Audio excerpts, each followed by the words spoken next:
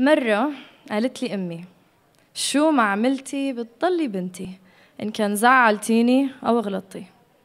طبعا شو أقول؟ شو أحكي؟ كيف برد عيلي شايف الدنيا كلها بابتسامتي؟ نفسها يلي شافتني بورقة وقلم لما كان عمري 8 سنين مو أكتر وقالت لي أوعك توقفي تكتبي. وضلت فخورة فيني حتى لما بطلت أصلا أكتب بالعربي. اللغة اللي هي لغتها لغة أمها لغة أبي وجدودي لغة كل وحدة من أخواتي لغتي. وقد ما كبرت وقد ما الدنيا علمتني جملتها المفضلة لساعتها أنتي ما بتكبري عندي حتى لما صرتي طولي. صار لي بكتب 15 سنة بس والله لهلأ ما بعرف أوصف لكم معنى كلمة أمي.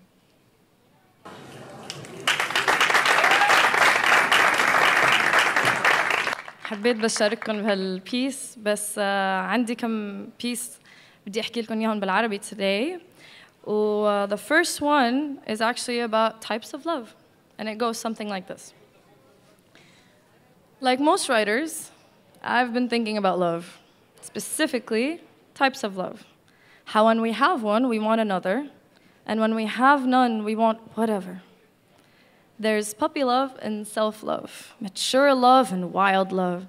There's quiet love and loud love. There's loving your parents and your siblings, your career and your religion.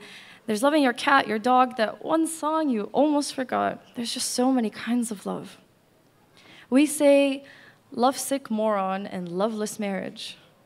No one seems to win when you really think about it because an epic love must not be stable, and a crazy but subtle love must not have any passion.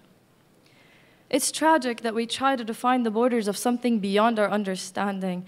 And then there's unconditional love, a term I don't really fathom the meaning of. If you claim to, some, to love someone unconditionally, is that I'll stick by you in illness or I vow to help you bury your body? Is it I'll still love you when we're both gray or I'll stay even when you don't want me? Is that I promise there's no one else? Or I promise to react to betrayal casually? Maybe it's me. Maybe I'm overthinking a term that simply means even if all you have are broken pens, if you're foreign to metaphors and similes, even if it's with all the wrong words, I just want you to help me write my story. Thank you.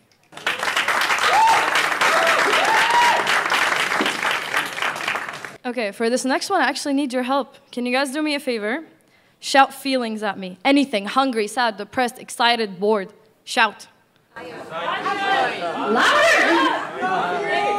More, give me more, give me more. You have feelings, give them to me. Yes, I want to hear more.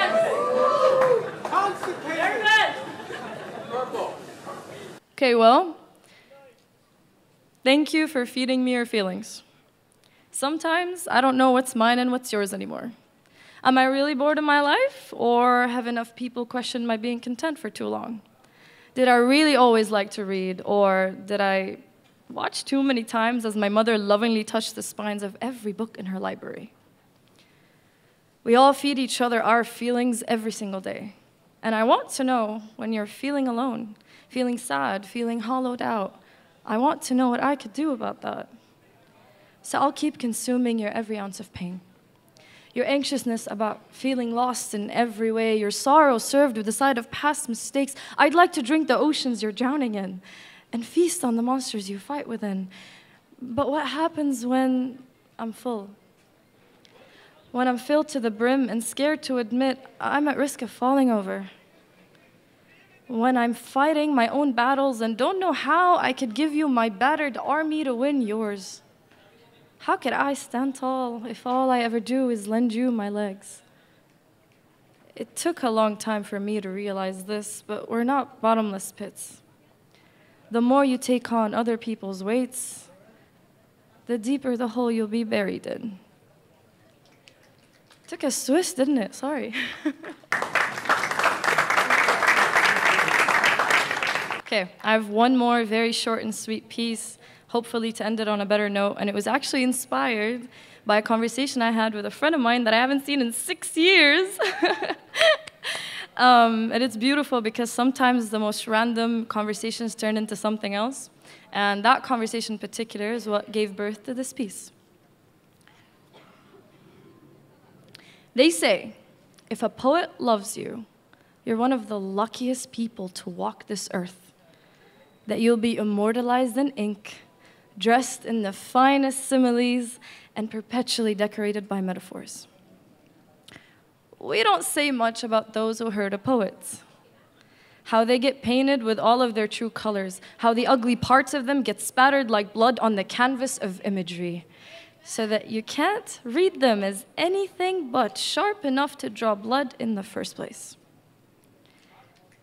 And to be fair, poets embellish the truth and romanticize darkness, but it's hard to understand the foolishness of one who crosses a poet to begin with. Thank you, everyone.